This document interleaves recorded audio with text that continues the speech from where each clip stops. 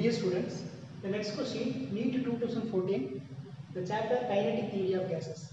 See the question, the mean free path of the molecules of the gas where the radius is r is inversely proportional to. So now they are asking that relationship between the mean free path that is the lambda and radius r.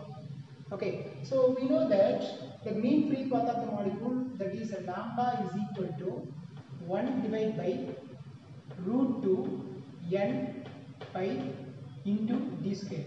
Okay.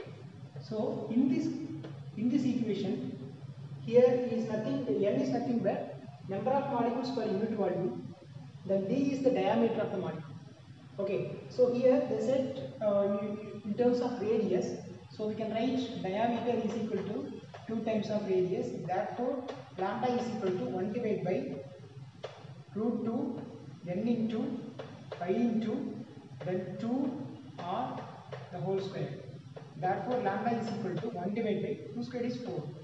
So, 4 root 2 n into pi into r square.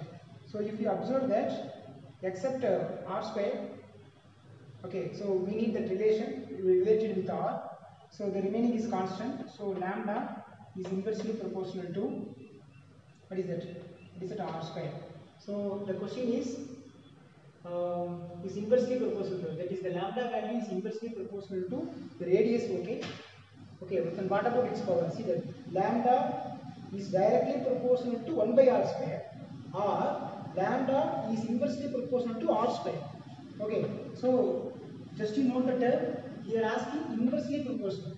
So lambda is inversely proportional to r square only so that r square is answer. That is option b. Okay thank you